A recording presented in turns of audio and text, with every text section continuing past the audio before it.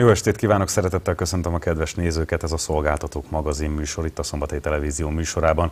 Közel háromnegyed órában lássuk, milyen témákkal várjuk Önöket. Szó lesz arról, hogy a Benlakásszövetkezetnél az évvégi zárás kapcsán mit jelent az elszámolási rendszer, ezt is megtudhatjuk. A Rohonci úti szennyvíz csatorna rekonstrukciójáról is hallhatnak pár szót a műsorban, valamint beszélgetünk a Gáspár mérnöki iroda képviselőjével arról, hogy számos városfejlesztési projekt előkészítésében, valamint megvalósításában is részt vesznek. Összeállítást láthatnak a Vasi Víz ZRT idei vízvilágnapi programjáról, és műsorunk első felében a szakképzésekről, a szakmák tanulásának fontosságáról beszélgetünk, de műsorunk elején még a nőnaphoz kapcsolódunk egy picit, a hagyományaihoz híven ismét lányos nyílt napra hívta a pályaválasztás előtt álló diákokat az LUK Szavária Kft. Több szombathelyi általános iskolából három turnusban közel száz lány tanulónak mutatták be a nagyvállalat által nyújtott képzési és munkalehetőségeket. Lányokkal telt meg az Ellukás Szavária Kft. egyik oktatóterme. Ez a hétköznapokban még nem általános, nőnapon viszont már hagyományos. Ilyenkor tartják ugyanis a lányos nyílt napot, amelyen a 7.-8. osztályos pályaválasztás előtt álló diákok részletes tájékoztatást kapnak a nagyvállalat tevékenységéről, a képzéseiről, sőt a tanulói és dolgozói juttatásokról, kedvezményekről. Tájékoztatjuk őket arról, hogy milyen középiskolai képzések vannak, hogy tanműhelyünk van, hogy a tanműhelyben milyen szakmákat lehet, gépi forgácsolót, mehatronikai technikust, szerszámkészítőt, automatikai technikust és egyéb képzéseket lehet nálunk végezni, illetve gyakorlatot lehet itt tölteni, de nem csak a középiskolai lehetőségekről tájékoztatjuk, hanem az egyetemi lehetőségekről is, hiszen azt gondolom, hogy nagyon fontos ebben a korban elkezdeni orientálni őket, és meglátni azt, azt, hogy mi az, ami fejleszthető tudás van bennük, mi az, ami potenciál van bennük, és abba az irányba terelni őket egy kicsit. Úgyhogy a felsőoktatásról is szoktunk néhány szót ejteni, melyik egyetemekkel vannak kapcsolataink, és milyen kapcsolataink vannak, milyen képzésekbe vagyunk benne, és honnan várunk hallgatókat, diákokat. Az autóipari beszállító cég több női dolgozója is bemutatkozott a pályaválasztás előtt álló diáklányoknak. Csontos Sárik Edit ügyvezető asszisztensként dolgozik a gyárban. Prezentációkat készítek az ügyvezető úr részére, kimutatásokat, különböző statisztikákat. A bemutatkozó hölgyek személyes példájukkal bizonyították a diákoknak, hogy a férfiasnak tűnő szakmákban is sikeresek lehetnek a nők. A feladataim közé tartozik még a logisztikától is beszerezni az anyagokat például, vagy segíteni legalábbis az anyagáramlásukat, a diszkósokkal, a gyártástervezővel tartó kapcsolatot, hogy minél gördülékenyebben tudjunk gyártani, igazából valamennyire a gépek kezelésébe, meg szerelésébe is belefolyok, amikor szükséges. Szejler Alexandra a hétköznapokon kívül is bizonyította szaktudását, megnyerte ugyanis a 2017-es nagyvállalati targoncás versenyt. Amikor ide kerültem, akkor kicsit nehezen indult ez a történet, ugyanis én voltam ebben a gyárban az első női vezető. A diáklányok megismerhették a nagyvállalat termékeit, bepillanthattak a gyártásba, és a tanműhelyben folyó oktatást is megismerhették. Láttuk eh, kétfajta forgácsológépet, az egyik a Eszterga gép, amin hengeres alkatrészeket tudunk készíteni, a másik a marógép, amin a szögletes alkatrészeket tudjuk készíteni. A lányos napon a nagyvállalat játékra is hívta a diákokat, tíz kvíz kérdésre kellett tudni a választ. Nagyon sok dolgot így tapasztaltunk, nagyon sok érdekes dolgot is láthattunk, érdekesek igazából ezek az ilyen gépészeti, forgácsoló szakmák, és nagyon tetszett igazából. Volt, ami újdonság is volt, meg volt, ami már tudtam, hogy például a gyárakban nők is dolgoznak, mert eddig én ugye ilyen oktatófilmekben mindig csak férfiakat láttam, és ez nagy újdonság volt, és így most már bátran tudok nézni a jövőbe. Én szeretem az ilyen gyárlátogatásokat, és nekem nagyon tetszett a forgácsolás, illetve az, ahogy kialakították a, ezt a pénzérmét, amit nekünk adtak, és ez engem nagyon megfogotta, hogy ezt csinálták. A tanműhelyben nőnap alkalmából ilyen kis ajándéktárgyat készítettek a nyílt nap résztvevőinek. Takács Gábor pályaválasztási felelősként harmadik évek kíséri el tanítványait az LUK lányos nyílt napjára, aminek végén meg is beszélik a látottakat. Nagyon tetszik nekik a hogy milyen rend van, milyen tisztaság, tetszik az a fegyelem, amiben dolgoznak, hogy, hogy itt azért nem lehet nagyon fegyelmezetlenkedni, vagy, vagy egyáltalán meg kell tanulni mindent pontosan és minőségben legyártani. Tetszik nekik az, ahogy beszámolnak a, a női vezetők arról, hogy hogyan jutottak idáig, mit tanultak, sőt még az is, hogy esetleg nem ebből a szakmából érkeztek ide ebbe a gyárba, és egy átképzéssel valamiféle munkakörbe tudnak tölteni. A diáklányok természetesen egy szálvirágot és ajándékcsomagot is kaptak a nőnapon, a kvíz kérdéseket hibátlanul megválaszolókat pedig csok csokival is megjutalmazták. De nem csak az ide látogató tanulók, hanem a nagyvállalat nő dolgozói is kaptak virágot az ő munkájuk is ugye ugyanannyira fontos, mint a férfi munkatársaké, viszont mivel van egy nemzetközi nőnap, ez egy nagyon megfelelő alkalom arra, hogy kifejezzék a vállalatunk vezetői, illetve kollégái számukra a megbecsülésüket, és a mindennapi munkájukat megköszönjék. A megye legnagyobb foglalkoztatójánál jelenleg több mint 3500-an dolgoznak, a női munkavállalók száma közel ezer, mindannyian kaptak virágot ezen a napon.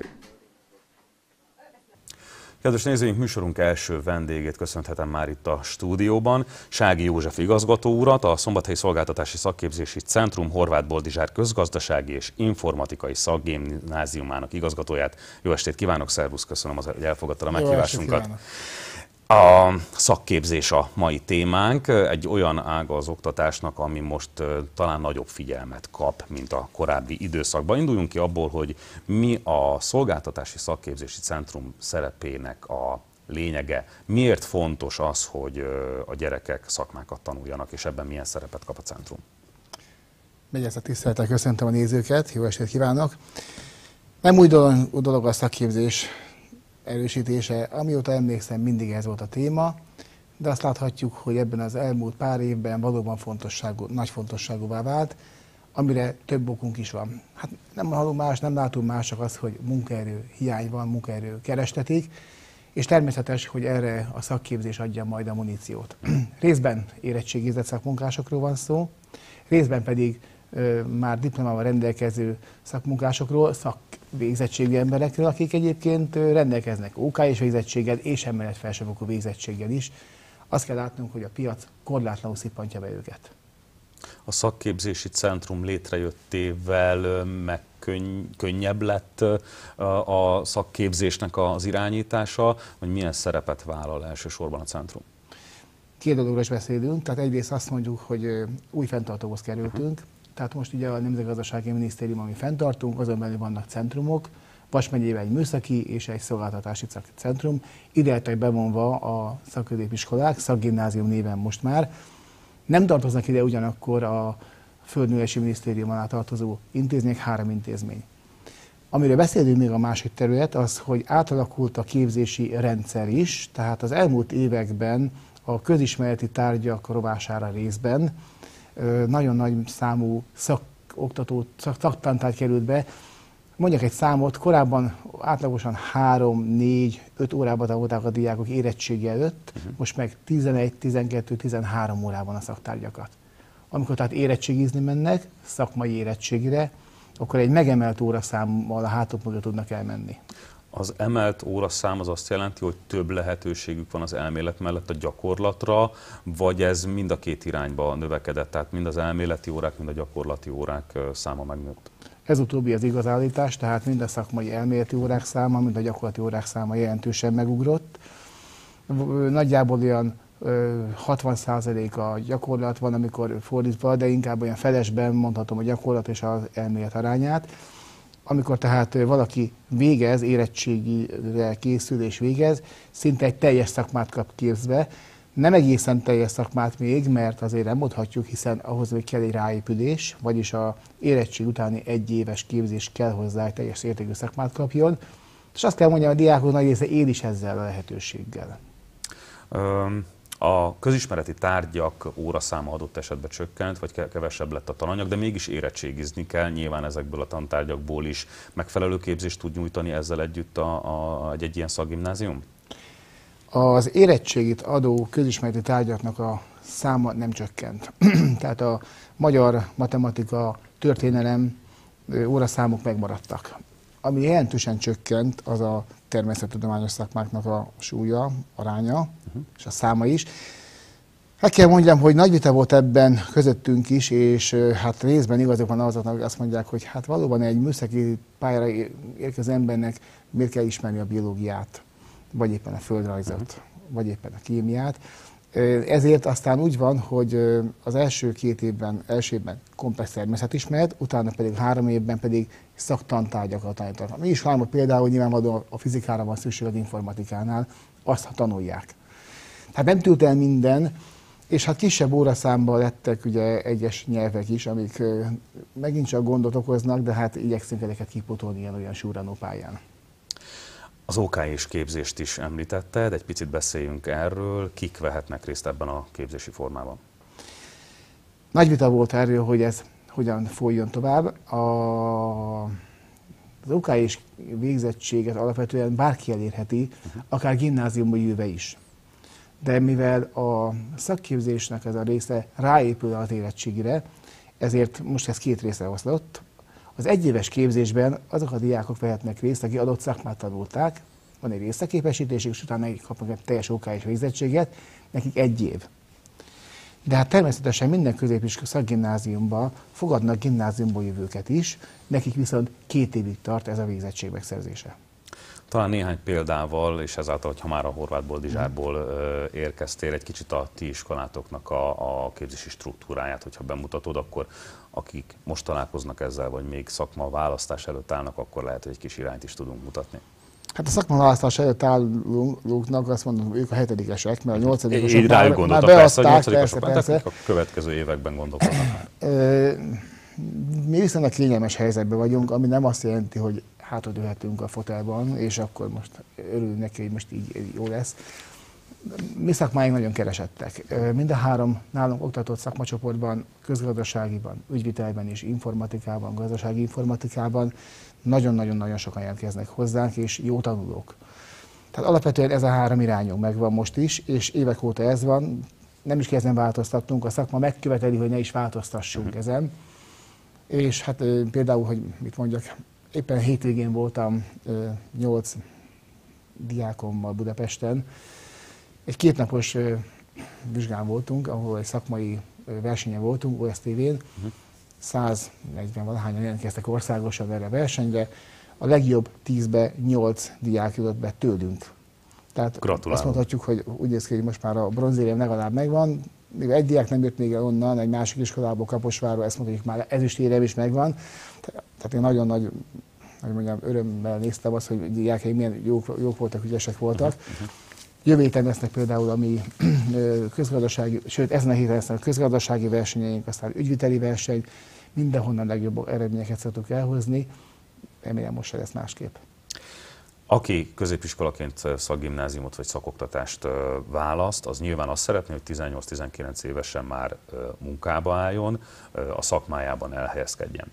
Mindjárt szeretnék egy kicsit beszélgetni az elhelyezkedés lehetőségeiről, de először beszéljünk azokról a diákokról, akik ezzel együtt úgy gondolják, hogy van egy szakmájuk, de ebben szeretnének fejlődni és beszeretnének jutni a felsőoktatásba. Milyen lehetőségeik vannak azoknak, akik szakgimnáziumba végeznek? Nem tudok olyan iskolát mondani Szombathelyen, meg Vas megyében, ahol ez problémát okozna. Vannak erősebb iskolák, nem tagadom a miénk ilyen, de a kicsit gyengén jegyzett iskolákban is mindig nagyon sok siker van. Tehát a igazgató kollégáim és a pedagógusok örömmel mondják mindig, hogy minden évfolyamban vannak olyan diákok, akik mennek el a felsőoktatásba. Érdekes módon nem csak a szakmai felsőoktatásba mennek műszaki egyetemekre, főiskolákra, hanem nagyon sokan választják például a bölcsész, jogász végzettséget is, meglepően sokan tanár végzettséget is. És például mi iskolákból is, ami egyébként nem ilyen speciális intézmény, például a helyi gépész képzést, nagyon sokan választják gépészmérnöki képzést, örömmel választják. Szóval azt lehet mondani számokat beszél, fordítva felé, hogy a körül, nálunk végzett érettségizetteknek körülbelül 90%-a nálunk maradó KS végzettséggel, végzettséget szerezni. Utána ebből körülbelül 30% tovább megy felsőoktatásba, és körülbelül a 70%, tehát az egész végzett érettségizett korosztálynak körülbelül a 60, kétharmada, 60 százalék az elhelyezkedik más szakma birtokában, de körülbelül 30 százalék az egyetemre megy. Jó esélyekkel, jó alapodást kapnak. Beszélgetésünk zárásaként, és erre akkor már te magad is átvezetted a témát, milyen elhelyezkedési lehetőségeik vannak itt a környéken ezekkel a szakmákkal, és most nem feltétlenül a szakgimnáziumotokról beszélek, hanem azokról a, az intézményekről, amelyek itt vannak Szombathelyen, és azokat a szakmákat oktatják. Tehát nyilván figyel minden iskola arra, hogy olyan szakmát oktasson, amire van kereslet. El tudnak helyezkedni ezek a diákok, akik végeznek egy szakgimnáziumban? Igazat a kollégáimmal voltam munkai beszélgetésen, ahol viccesen mondtuk egymás között, hogy amennyiben mi nem képeznénk a diákjainkat ilyen jó szinten, egymással egyetértésbe ezt kell mondjam, akkor Burgenland és lehet, hogy még Stájerország is becsukhatná boltot. Körül kell nézni, hogy hányan dolgoznak itt a szomszéd területeken Ausztriában. Némi hazabeszélésre hadd mondjam ezt, hogy a felendülésük ilyen nagy része nekünk köszönhetnék. Uh-huh. Egy-két iparágat szerintem bőven becsukhatnának, hogyha itt nem dolgoznának jó magyar szakemberek. De nem akarom elütni a kérdés élét. Gyakorlatilag Vas megye teljes mértékben felszívja, felszívja nálunk érzett munkaerő, friss munkaerőt. Elhelyezkedik mindenki. Köszönöm szépen a beszélgetést. Nagyon szívesen, viszontlátásra. Kedves nézőink, más témával folytatjuk. Ivókutak kerülnek több iskolába, kiállítás nyílik természetes vizeink védelmével kapcsolatos rajzokból és fotókból, vetélkedőt rendeznek középiskolásoknak. Csak néhány a Vasi Víz ZRT idei vízvilágnapi programjaiból. A március 19-én kezdődő rendezvényekkel a társaság fennállásának 120. évfordulóját is ünnepli. Március 22-e a vízvilágnapja, amelyet 1994 óta ünnepelnek világszerte. Vas megye legnagyobb vízszolgáltatója, a Vasi Víz ZRT fontosnak tartja, hogy a jeles naphoz kapcsolódva felhívja a figyelmet a víz értékére, és tudatosítsa, milyen fontos szerepe van a vízműnek a vízszolgáltatásban és a környezetvédelemben. Az idén is számos programot szerveznek a különböző korosztályoknak. Ezek az alkotások például arra a pályázatra érkeztek, amelyet diákoknak hirdettek meg hagyományosan. Az idei év központi tematikája a véd természetesen, ehhez próbáltak különböző kreációkat kitalálni a, a diákok. A második, másik pályázatunk pedig egy fotópályázat, amely szintén a véd természetesen szlogenhez kapcsolódik. Itt már kicsit idősebb korosztályt, nagyobb korosztályt hívtunk, középiskolától fölfelé egyetemisták, főiskolások is pályázhattak, és természetesen minden olyan profi, amatőr, félamatőr, aki úgy érzi, hogy tehetsége van a fotóművészethez. A pályázatra beérkezett alkotásokból a Fedett Uszoda aulájában kiállítás nyílik március 22-én, és a legszebb munkákat kiadványaiban is felhasználja majd a vállalat. Hagyomány már az is, hogy ilyenkor vetélkedőre hívják a megye középiskolásait, akik környezetük megóvásával kapcsolatos feladatokat oldanak majd meg az Oladi Szakgimnáziumban március 20-án akit pedig a vízszolgáltatás műszaki gépészeti vonatkozásai érdekelnek, felkeresheti a Vízműtörténeti Múzeumot. Március 21-én és 22-én kinyitja kapuit az Északi Gépház a Váci utcában. A létesítményt előzetes bejelentkezéssel bárki ingyen megtekintheti. Az idei programsorozattal a Vasi Víz a társaság fennállásának 120. évfordulóját is ünnepli, így újdonságokkal is készülnek az alkalomra egy fűzfa erültetésére kerül sor a csónakázótó partján. Ezzel is próbáljuk jelezni azt a kapcsolatot, azt a szimbiózist, amely a víz, a természet és a szolgáltató cégünk a Vasi Víz között jön létre. A második pedig, hogy ugyancsak a diákok felé fordulva, meghirdettünk egy programot, hogy, hogy felhívjuk a víz fogyasztásának a szükségességére már gyermekkortól a, a diákoknak a figyelmét. Ivókutakat szerelünk fel általános és középiskolákban, elsősorban olyan helyszíneken, olyan termekben, közösségi terekben, ahol szem előtt vannak ezek az ivókutak, tehát ha megszomjaznak a gyerkőcük, akkor ne kelljen bemenniük mondjuk a mosdóba, hanem ott a régi klasszikus hagyományos módon lehajoljanak és vizet fogyasszanak. Fel lesznek szerelve kulacs-töltő fejjelés, úgyhogy ha valaki szeretné megtölteni poharát, kulacsát, akkor így is tudja utána fogyasztani a vizet. A Víz Világnapja és a Társaság jubileum alkalmából a munkatársakra is nagyobb figyelem irányul majd. Kitüntetést kapnak a legjobb dolgozók, és megköszönik a leghűségesebbek, vagyis azok munkáját, akik 25, 30, 35 vagy 40 évet töltöttek el a vállalatnál. Kedves nézőink, évek óta látjuk, hogy Szombathely fokozatosan megszépül és ezek a szépítési folyamatok nem állnak meg, mindig vannak újabb tervek. Következő beszélgetésünk témája is ez lesz. Stúdióban szeretettel köszöntöm Gáspár Pétert, a Gáspár Mérnöki Iroda vezető építészét. Jó estét kívánok! Jó estét kívánok! Azért ön ül itt, mert a város több olyan szépítését, illetve hát városfejlesztési projektjét ön, illetve az ön irodája kezeli, illetve tervezi, amelyek a közeljövőben hát valóban örömünkre, a lakók örömére fog válni. Melyek a legfontosabb fejlesztési területek, és miért vált szükségessé, hogy ezen a területen egy kicsit, hát hogy úgy mondjam, kozmetikázzák a várost? Hát igazából ugye nem csak a mi irodánk, hanem több városi építész is dolgozik ezeken a projekteken, hiszen gyakorlatilag a, több olyan elképzelés van, ami gyakorlatilag építészeti munkákat igényelt, tehát értem alatta az iskolákat, óvodákat, azoknak a felújítását, egyéb középületeknek a megújítását, amire ugye különböző pályázati források voltak. Ezeken belül, amit most az irodának úgy mondjam a mi munkánk, és ami mi most dolgozunk, és még azt jelenti, hogy különösebben illetve azt hiszem ismert, de különösebben még ugye nem, nem indult el az építkezés, de nagyon bízunk benne, hogy elindul, azok egyszer az uszodának a következő üteme lenne. Uh-huh. Aztán, ami mi dolgozunk, az a víztoronynak a, a története, illetve annak a felújítása és az ahhoz kapcsolódó munkarészek lennének. És a harmadik, ami most igazából meglátjuk, hogy ezből lesz-e egy igazi megújulás és egy igazi építkezés, az pedig a Károly Gáspár térnek a megújulása lenne.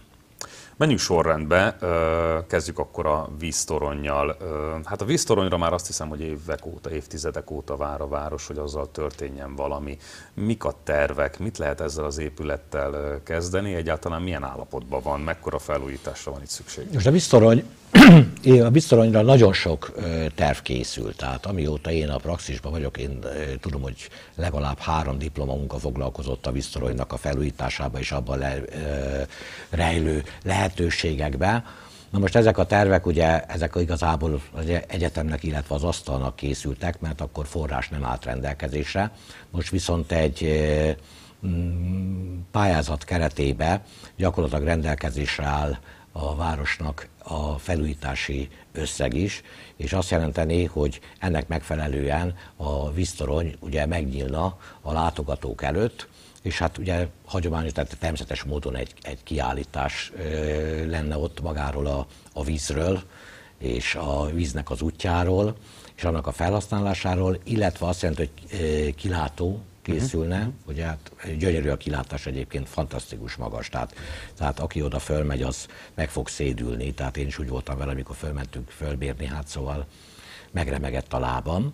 Az alsó szinten az alul lenne egy kiállítótér? Igen, egy ká, tehát alulról terveznénk egy, egy kiállítóteret, uh-huh. vagy egy kiállítótér egy kávézóval, uh-huh. külön teremmel, és az első ö, szint gyakorlatilag a kávézónak a fogyasztótere lehetne. Uh-huh. Most ugye a, mondanánk az, hogy följebb is jó lenne kávézót, és milyen jó lenne ott ülnénk, bár ez a magasság se lebecsülendő, hiszen 10 méter magasságokról beszélünk már, tehát az egész város belátható a kávézónak a galériáráról, de igazából itt vannak tűzrendészeti dolgok is, lépcsőket kellene csinálni, hogy egy nagyobb mennyiségű ember tudjunk kezelni, tehát ezért mi azt mondtuk, hogy az összeg meg rendelkezésre áll, hogy mennyiből kell megújítani ezt az épületet. Azt mondtuk, hogy akit az érdekel, hogy körbenézzen a városból, az működik, tehát fel tud menni a legnagyobb, legtetejére majd a látogató, körbe tud nézni. Bátraknak ajánlom Lépcsőn lehet fölmenni tetejére Lépcsőn a meglévő technológiai lépcső, mert a középső magba egy, egy csiga lépcső megy föl, amit, amit gyakorlatilag csak megyünk, megyünk, megyünk, tehát azt jelenti, hogy irdatlan magasságba fogunk fölmenni. Különbében nem változik, gondolom. Különbében nem. A maga, ugye ez egy, ez egy nem műemléképület, de azért úgy kezeljük egyértelműen. Ez egy, ez egy ipari épület, ami nagyon magas szinten készült annak idején, hiszen a városnak egy olyan emblematikus pontja, hiszen hogyha én a Király utcába például elnézek a az étterem felé, akkor a, mindegy kupola látszik ott, és úgy néz ki, mint egy bazilika, ez egy bazilika tornya van neki. Tehát maga az épület maradna, egy teljes megújult, tehát egy felenújítva homlokzata, az elhasználódott szerkezeteket kicserélnénk. Egyébként a kérdés, hogy milyen állapotban van, nagyon jó állapotban van, tehát meglepetésszerűen jó állapotban van, különösebb probléma nincsen vele. A korlát az, ami elhasználódott, a mindenképpen csere Természetesen le, színezni kell, természetesen rendbe kell rakni a pár helyen lehulló vakolatot, de alapjában jó állapotban van. Most a pályázathoz hozzátartozik még egy dolog, hogy megújulna a Kressz Parknak is a tároló, a, környék. a, a környéken minimálisan, de a tároló épület, ahol a mhm. kiskocsik indulnak, az gyakorlatilag szintén új formát kapna. Tehát úgy érezzük, hogy ez az egész park, meg a gyerekjátszó téret is egy kicsit ki szeretnénk még bővíteni, akkor azt jelenti, hogy ez a kávézó igazából egy ilyen családi pihenőhely is lehetne, hiszen nem csak az a lényeg, hogy fölmegyünk a toronyba, lesz egy külső terasz hozzá, ami uh-huh. ránéz a gyerekjátszótérre, uh-huh. a, a Kresszparkot lehet használni, úgyhogy a szülők közben tudnak mit csinálni, tehát én bizony benne, elkészül, akkor ez egy nagyon közkedvelt pontja lesz Szombathelynek. Ugorjunk akkor a következő helyszínre, a Perint partra, Károly Gáspár térre, itt milyen tervek? Hát ez igazából egy álom. Tehát igazából ennek a pénzügyi fedezete remélem, hogy egyszer rendelkezésre fog állni. Igazából ez a terv úgy született, hogy én nekem mindig szívem csücske volt, ugye természetesen Szombathely, mint a szülővárosom. Ezen belül is ugye az az én képzel képzetem, hogy a, a, van itt egy folyó, illetve kettő patak, ami ugye átvezet a város, uh-huh. ugye ezzel lehetne valamit kezdeni, illetve azt jelenti, hogy a város ugye attól város és attól élhető, hogy megyünk egy utcán, az utca egy térbe, uh-huh. Torkolik, a térből megyek tovább egy következő utcába, és ugye megint egy kis teret találok. Most ez, ez itt egyelőre szombathelyen e, vannak tereink, igazából azonban, tehát olyanok, ami tényleg e, térformát alkot, abból viszonylag kevés van, és az építésznek az lenne a feladat, hogy ezt a városi szövetet egy ilyen élhető, átjárható utcák, terek kapcsolatát al- alkossuk meg. Uh-huh. És ugye igazából ez egy ilyen, ez egy olyan terv, amit igazából régóta dédelgetek, és ezt a tervet ugye elkészítettem, és én ezt, hogy úgy mondjam, odaadtam a, a városnak, és ebből, hogy lesz-e valami, vagy nem lesz, ez majd a város vezetésén, illetve pénzügyi lehetőségen múlik. Én nagyon szeretném. Ebben egyébként benne van az a munka is, hogy amit úgy, tehát ugye, hogy a Perintpatak valamikor az én gyerekkoromban a, egy fürdővíz volt benne, két méter, bizonyos helyeken akár két méter mély víz volt benne, fák nőttek a parton, tehát egy élő vízfolyás volt. Mm. Ezt az árvízvédelmi problémákkal, amivel ugye szembesültünk akár ezelőtt 6-7 évvel is, hogy a híd alját mosta ugye a perint, amikor, mm. amikor nagy esők voltak Ausztriában vagy Kőszegen. Na most ez úgy néz ki, hogy a víztározók készítése miatt megszűnik, illetve hogyha a dozmati víztározó elkészül, akkor azt jelenti, hogy a perintpataknak a változó vízszintje egy 80 centit fog körülbelül. Tehát bármilyen nagy ö, holvadás is van Ausztriában, egy 80 centinél nagyobb víz mennyiség nem fog lefolyni a períten. Uh-huh. Ez azt jelenti, hogy a, a újra birtokba lehet venni ezt a természetes vízfolyást. Jó, beszélgetésünk végéhez közeledünk, és ha jól tudom, bár az előbb ezt nem említetted, de mintha a képtár felújítása is szóba Így került van, volna. A képtárról, a képtárról nagyon röviden beszélgetésünk végén, milyen tervek, mennyiben újulna meg, mit jelent itt a, a, a felújítás? Hát a képtár egy e,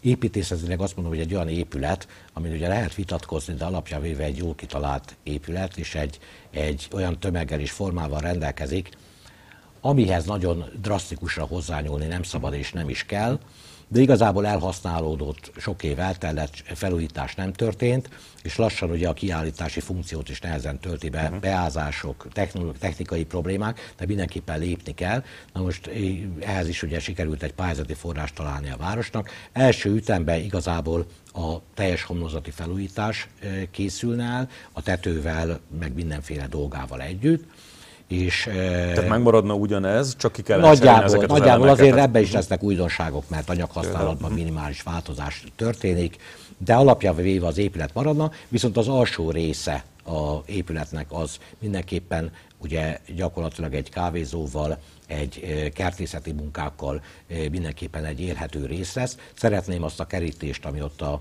zsidó templommal szembe van Igen. megszüntetni, uh-huh. hogy maga a város idáig, tehát a, a sétáló ember ez alá az épület alá mindig be tudja tehát menni. Nyitottá tenni nyitottá ezt az egész teret. Ezt az uh-huh. egész teret, és ezzel igazából a város megint kapta egy olyan kis lehetőséget, ahová mondjuk be tudok menni, egy üvegfalon keresztül látom ugyanúgy a, a, rom, tehát a, a romokat, tehát alapján véve ez lenne az első ütem, és ennek uh-huh. reméljük, hogy lesz egy következő ütem, ami pedig a teljes belső felújítást fogja jelenteni.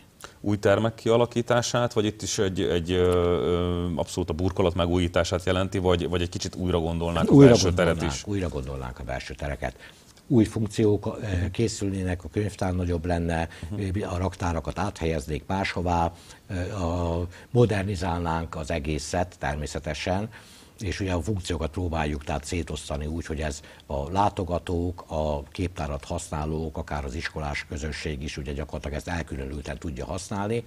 Tehát a, remélem, hogy hogyha a második ütem elindul, tehát ez a mhm. első felújítás, akkor egy teljesen modern teret fogunk kapni, új anyag használata, hisz azért látni kell, hogy amikor ez épült, akkor azért ugye egész más ö, anyaghasználat volt, és egész Persze. más anyagok voltak, tehát a idő nagyon eljárt a képtár fölött. Hogy látja, az előbb említett projektek közül melyik az, ami talán a legrövidebb időn belül elkészülhet, melyik az, ami nem csak egy álom? Hát én úgy tudom, hogy a, tehát a, szerintem a képtár igen, a visszarony igen, és ugye a, a egy pár éven belül? A, igen, az úszoda reméljük, hogy igen, ott még egy kormánydöntést vár az önkormányzat, uh-huh. tehát arra, de úgy néz ki, hogy az is rendben van. Hát ez a Károly Gáspár tér pedig azt hiszem, ez egy közös álom. Dédelget még ilyen álmokat? Igen. Vagy arról majd később? Arról később, igen. Köszönöm szépen a beszélgetést. Kérem. Szotlátásra. Jó. Kedves nézőink, más témával megyünk tovább. A tervek szerint május közepére befejeződik a Rohonci úti szennyvíz csatorna rekonstrukciója. A 160 millió forintos beruházás után a város más pontjain is hasonló munkálatok kezdődnek majd. Újra munkagépek dolgoznak a Rohonci úton. A Deák Ferenc és az Engels utca közötti szakaszon végeznek csatorna rekonstrukciót, kicserélik a régi betonvezetéket, amelynek helyére modern műanyag csövek kerülnek. Vízelvezető kapacitás nem változik, régi betoncsatornát fogunk kiváltani üvegszál erősítésű műanyagcsőre, 650 mm átmérő fog beépít, kerül beépítésre. A gerincvezeték 5-6 méter mélyen fut majd a burkolat alatt, hogy a lakótelep felül érkező szennyvizet elvezesse. A több mint 120 méter hosszú gerincvezetékre kötik rá az ingatlanokat, valamint három tisztítóaknát és hat víznyelőt is elhelyeznek ezen a szakaszon. A Rohonci úton a stadiontól kifelé valamint a Deák Ferenc utcától a Magyar utca felé már korábban kicserélték a régi szennyvízcsatornát, így ezen a környéken már csak az ivóvízvezeték felújítása maradt hátra kifelé megyünk a városból, akkor már csak vízvezeték rekonstrukciós munkáink lesznek. Ha sorba vesszük a csomópontokat, akkor a Deák utcai kereszteződésben kell majd munkálatokat végeznünk.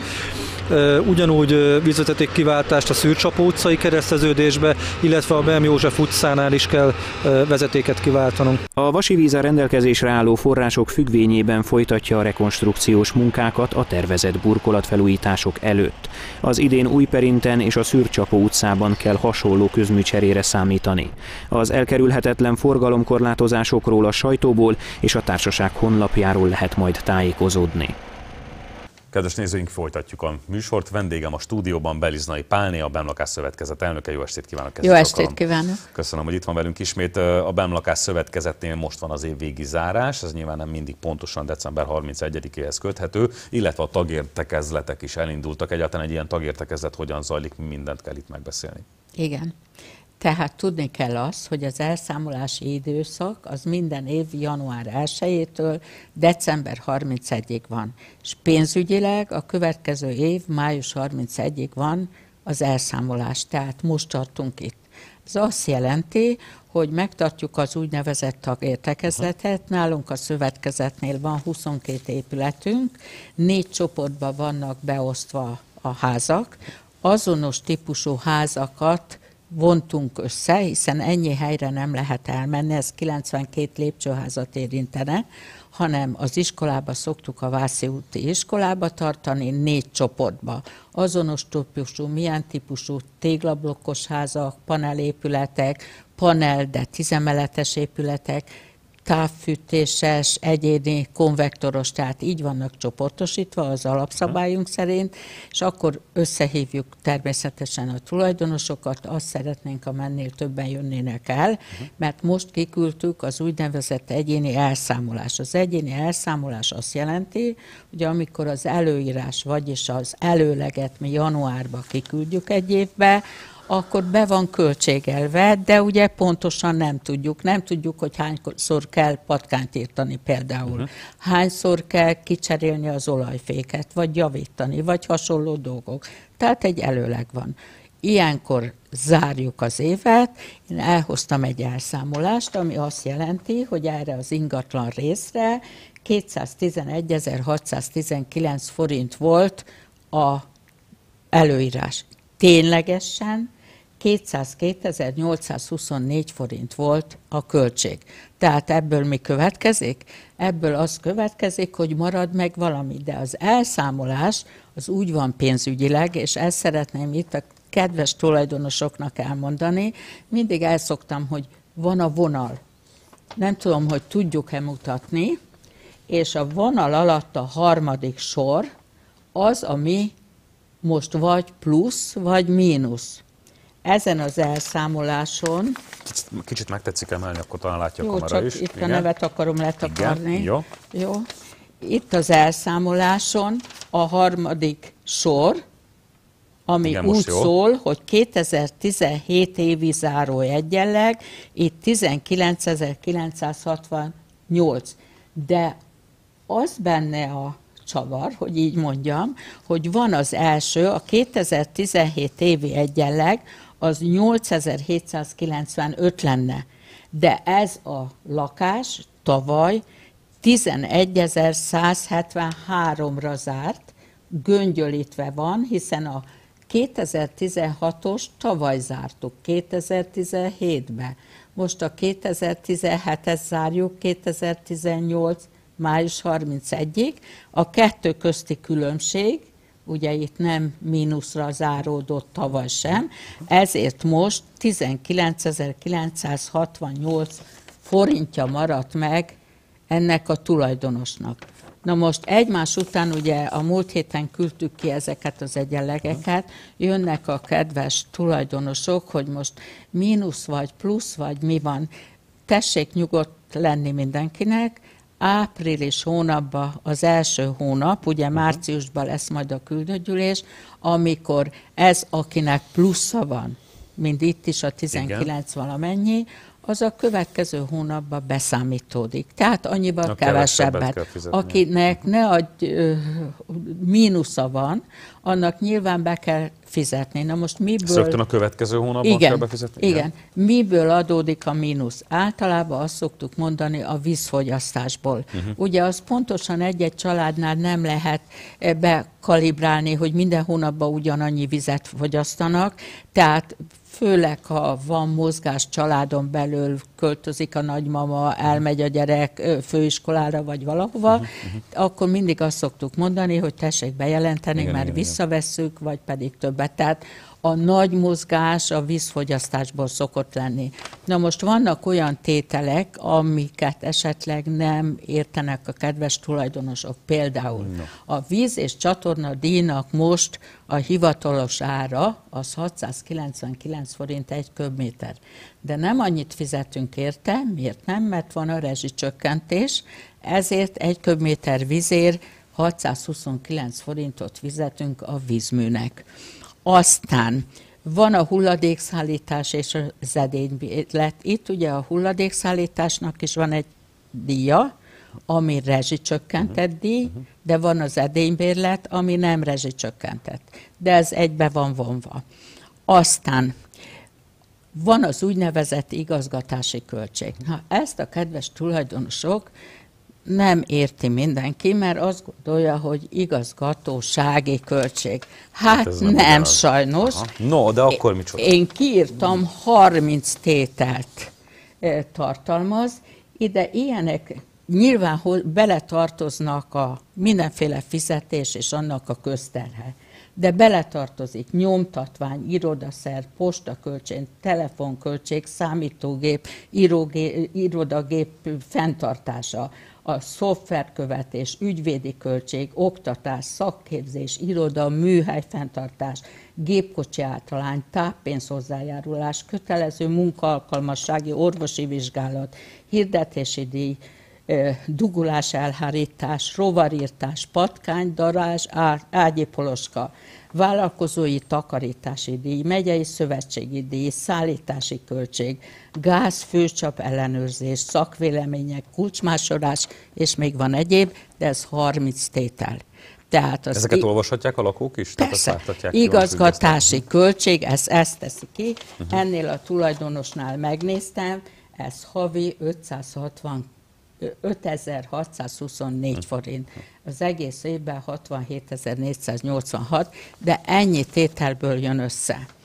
Aztán, ami még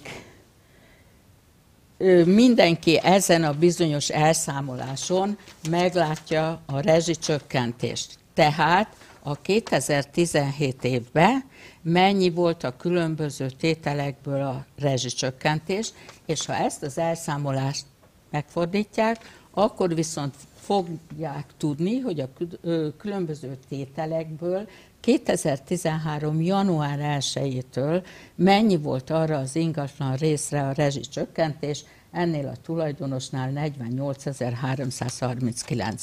Tehát ezt tartalmazza a napokban megkapott egyéni elszámolás, és kérem a kedves tulajdonosokat, akik néznek bennünket, április hónapban ezt vagy visz, beszámítja, uh-huh. vagy pedig akinek mínusza van, befizeti.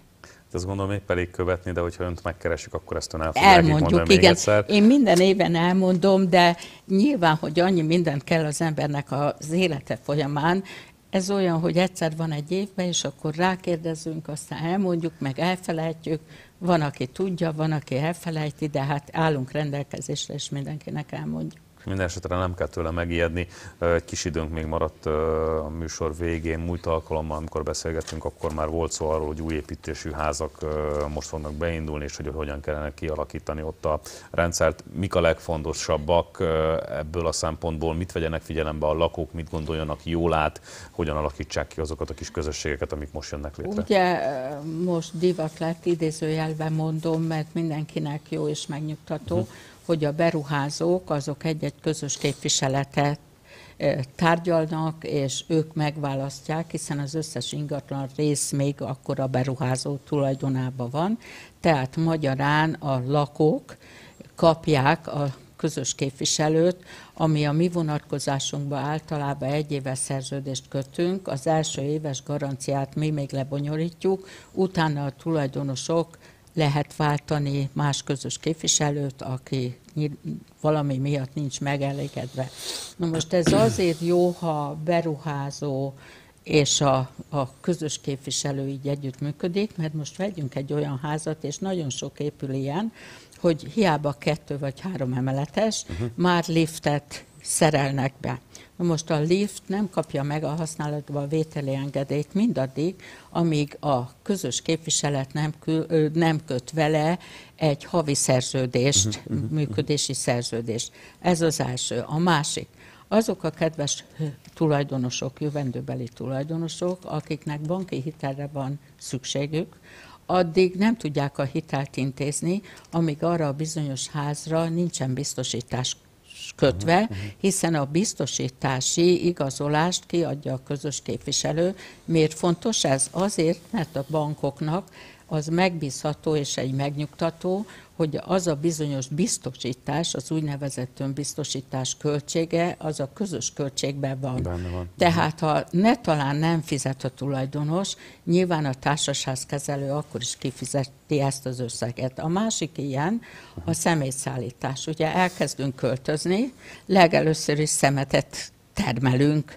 meg a csomagoló anyagot, tehát mindjárt a hulladékszállításra kell egy szerződést kötni, hogy nem, nem tudom hány méterre teljen föl a szemetes rész, illetve az udvar. Tehát ez a három olyan, amit rögtön kell elindítani az új háznál. Aztán a mostani házaknál ugye központi gázkazánok vannak, napkollektor van, mindenféle ilyen elektromos, ugye nem egy panel épületbe költöznek a mostani tulajdonosok, tehát sok-sok dolog van, amit hát mind be kell indítani, meg megkötni a megfelelő szakemberekkel ugye a, a díjakat, hogy a havi karbantartás hogy és miként történik.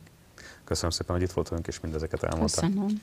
Köszönöm én is. Kedves nézőinknek is köszönöm a figyelmet a mai műsorban. Ennyi fért köszönöm, hogy velünk tartottak. Viszontlátásra!